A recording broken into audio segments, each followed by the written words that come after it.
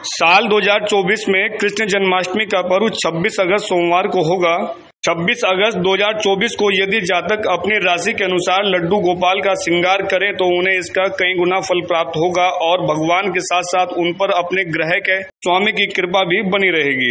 इसकी और अधिक जानकारी देते हुए हरिद्वार के विद्वान ज्योतिषी पंडित श्रीधर शास्त्री ने लोकल 18 को क्या कुछ कहा है, सुनिए। मुकम करोति वाचालम पंगुम लंघे यत कृपा तमहम वंदे परमानंद माधवम। जैसा कि 26 अगस्त को दिन सोमवार है, उस दिन श्री कृष्ण जन्माष्टमी का महोत्सव प्रारंभ है। तो उस दिन हमें राशि के अनुसार इस प्रकार से जो अपना लड्डू गोपाल जी का श्रृंगार, जो हमारे घर में देव मंदिर बना हुआ है, पूजा पूजा का स्थान, उसमें लड्डू गोपाल जी का हम किस प्रकार से पूजा अर्चना करें, अगर हम राशि के अनुसार करते हैं तो हमारे जो ग्रह के स्वामी है, उनकी भी कृपा हमारे ऊपर बनी रहती है। जैसा कि बारह राशियों में सबसे प्रथम राशि मेष राशि। मेष राशि के स्वामी मंगल हैं तो जो भी हमारे लड्डू गोपाल जी विद्यमान हैं हमारे मंदिर में, उनका श्रृंगार हम लाल वस्त्र के द्वारा यदि करते हैं, उसका सकारात्मक प्रभाव पड़ता है। और जो मेष राशि है, उनके लिए वह बहुत हितकर है। लड्डू गोपाल जी का श्रृंगार करें तो उससे हमें मनवांचित फल प्राप्त होता है। वृष राशि में, वृष राशि वाले जातक लड्डू गोपाल जी का श्रृंगार श्वेत वस्त्र के द्वारा करें तो बहुत अच्छा है, उनको एक सकारात्मक फल प्राप्त होगा और अपने राशि स्वामी की कृपा भी बनी रहेगी। आगे आती है मिथुन राशि।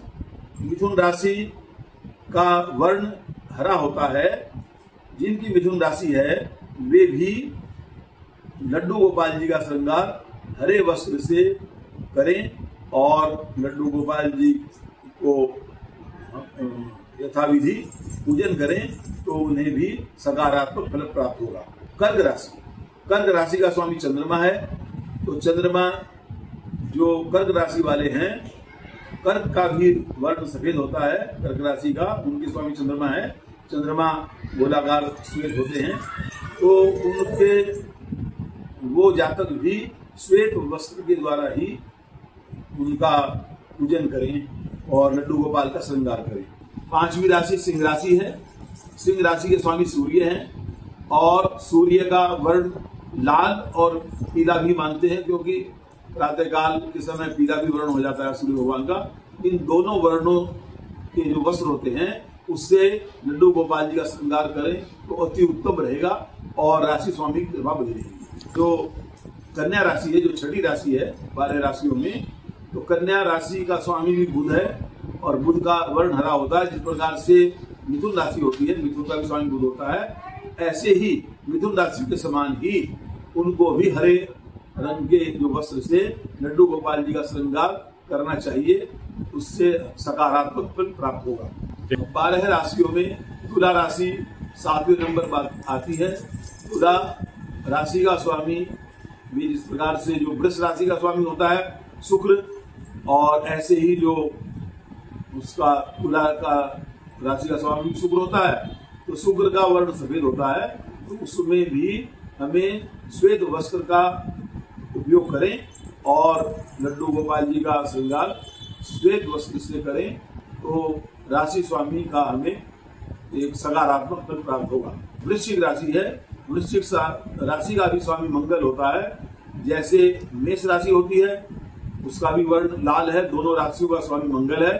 तो ये इस राशि वाले भी रक्त वर्ण का जो वस्त्र है, लाल रंग का वस्त्र है, उससे ही लड्डू गोपाल जी का श्रृंगार करें। उससे सकारात्मक फल प्राप्त हो और राशि स्वामी की कृपा बनी रहती है।